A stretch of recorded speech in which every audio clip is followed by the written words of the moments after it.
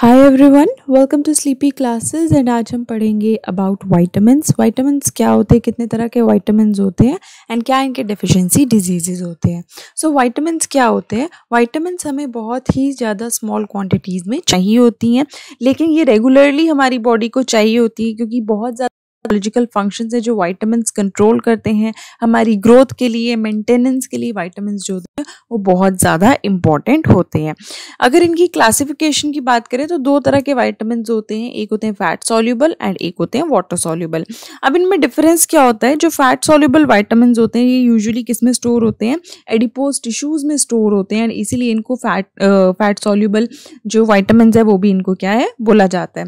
अब वाइटामिन बहुत ज़्यादा तरह के होते हैं A B C then D, E and K ठीक है? सो फैट सॉल्युबल में कौन कौन से वाइटामिन होते हैं? Vitamin A vitamin D vitamin E and vitamin K तो ये चार वाइटामिन जो होते हैं, ये हम, हमारे फैट सॉल्युबल होते हैं।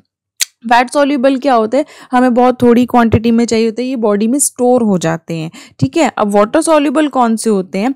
वाटर सॉल्यूबल वाइटामिन जो होते हैं, वो वो वो होते हैं जो हमारी बॉडी स्टोर नहीं करती है, ठीक है? ये यूरिन के साथ जो होते हैं, वो पास आउट हो जाते हैं। तो इसीलिए इन्हें हमें बहुत ज़्यादा क्वान्टिटी में जो है, वो कंज्यूम करना पड़ता है क्योंकि, और रेगुलर बेसिस पे कंज्यूम करना पड़ता है क्योंकि ये हमारी बॉडी में स्टोर नहीं होते। फैट सॉल्यूबल हमारी बॉडी में स्टोर हो जाता है वाटर सॉल्यूबल बॉडी में स्टोर नहीं होता है।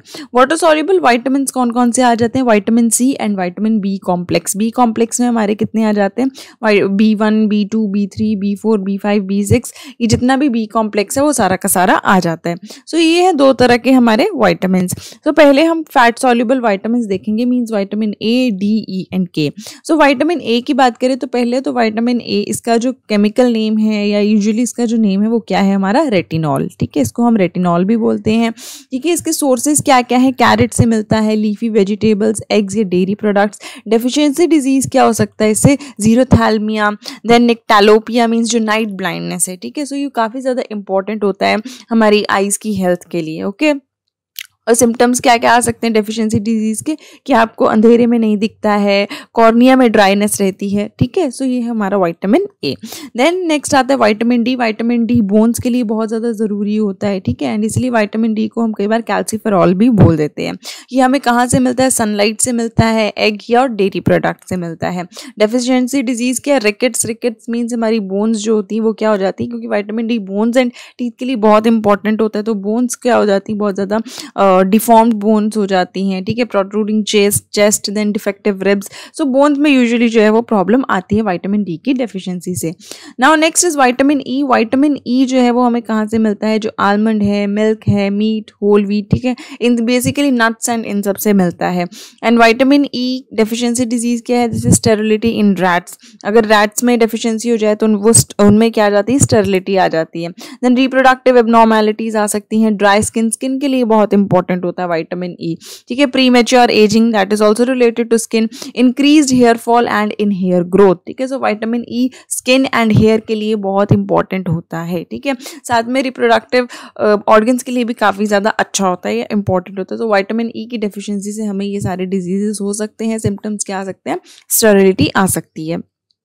लास्ट फैट सॉल्युबल वाइटामिन है that is vitamin K vitamin K usually हम ब्लड क्लॉटिंग में बहुत ज़्यादा इंपॉर्टेंट रोल प्ले करता है। जब भी हमें चोट लग जाती है तो क्लॉट जो क्लॉट फॉर्मेशन होती है, उसमें वाइटामिन के बहुत इंपॉर्टेंट रोल प्ले करता है। और ये हमें मिलता कहाँ कहाँ से leafy vegetable soybean and milk इसके डेफिशिएंसी डिज़ीज़ क्या क्या आ सकते हैं? वही की ब्लड क्लॉटिंग जो है, वो अच्छे से नहीं होती है।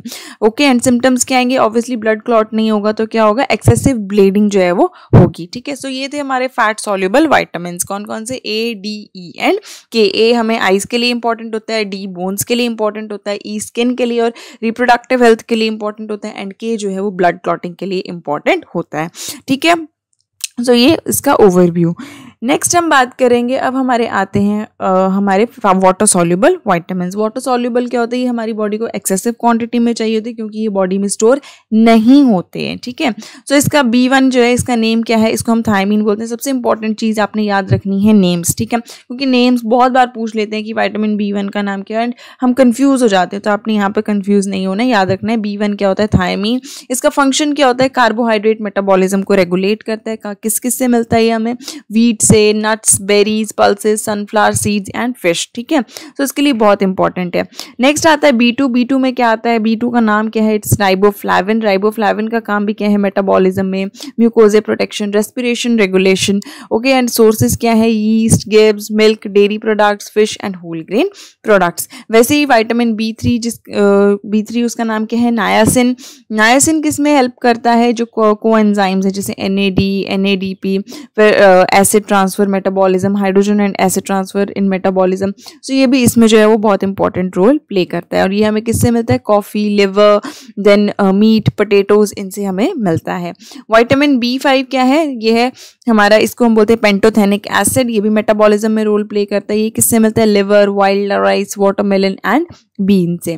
बी सिक्स में आ जाता है हमारा पायराडॉक्सिन पायराडॉक्सिन किसमें काम करता है? ये भी मेटाबॉलिज्म में काम करता है, लेकिन amino group transfer in amino acid metabolism amino group transfer होता है मेटाबॉलिज्म उसमें रोल प्ले करता है प्रोटीन एनाबॉलिज्म में रोल प्ले करता है। ये कहाँ से मिलता है? Yeast crop seed banana soybeans carrots potatoes walnuts fish green vegetables meat whole grain products then आता है बी सेवन या विटामिन एच, ठीक है, जिसको हम क्या बोलते हैं बायोटिन सो ये बहुत इंपॉर्टेंट है। बायोटिन क्या है? ये कोएंजाइम है ओके एंड बायोटिन आप, हमारी स्किन के लिए भी बहुत ज़्यादा अच्छा होता है, बहुत इंपॉर्टेंट होता है। सो so, ये कहाँ से मिलता है हमें? Liver yeast peanuts almonds egg yolk banana इनसे हमें मिलता है। देन विटामिन बी नाइन इसको हम क्या बोलते हैं? फॉलिक एसिड बोलते हैं। और ये हीमोग्लोबिन सिंथेसिस में बहुत इंपॉर्टेंट रोल प्ले करता है प्रोटीन और हीमोग्लोबिन सिंथेसिस में। Then mono carbon transfer in metabolism ये हमें कहाँ से मिलता है ईस्ट गिब्स रेड बीट सो अगर हमारी बॉडी में आयरन की कमी हो, खून की कमी हो तो हम यूजुअली क्या रेकमेंड करते हैं? वाइटामिन बी नाइन जो है, वो रेकमेंड करते हैं. या ओवरऑल वाइटामिन बी कॉम्प्लेक्स ही रेकमेंड किया जाता है बट फॉलिक एसिड जो है, वो काफ़ी ज़्यादा जो है, वो रेकमेंड किया जाता है. देन बी ट्वेल्व आता है कोबालमिन ये किसमें हेल्प करता है? इसका फ़ंक्शन क्या है? Nervous system protein and erythrocyte synthesis erythrocytes क्या होते हैं? हमारे आरबीसीज होते हैं. ठीक है so B nine and B twelve का मेन काम आरबीसीज के साथ है okay qué? And nervous system के लिए भी बहुत ज़्यादा इंपॉर्टेंट होता है। ये हमें कहाँ से मिलता है? एनिमल प्रोडक्ट्स जैसे liver kidney beef fish and egg yolk इनसे जो है ये मिलता है, ठीक है?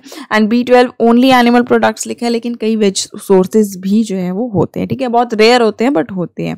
देन लास्ट आता है vitamin C that is ascorbic acid ascorbic acid का काम क्या है? कोलाजन मीन स्किन के लिए बहुत इंपॉर्टेंट है। Bone then teeth production iron absorption antioxidant जो है वाइटामिन सी को सी जो है वो बहुत ज़्यादा पावरफुल एंटीऑक्सीडेंट होता है, ठीक है? और ये हमें कहाँ कहाँ से मिलता है? फ्रूट्स वेजिटेबल्स पर्टिकुलर जैसे जो भी हमारे सिट्रस फ्रूट्स हैं सिट्रस फ्रूट्स में भर भर के हमारा जो है वो वाइटामिन सी प्रेजेंट होता है। जैसे लेमन है ऑरेंज है, ये सारे के सारे सिट्रस फ्रूट्स हैं। सो इसमें बहुत ज़्यादा अमाउंट में प्रेजेंट होता है, इसीलिए बोल जाता है कि आपको वाइटामिन सी लेना चाहिए, ये क्या स्किन के लिए बहुत अच्छा होता है।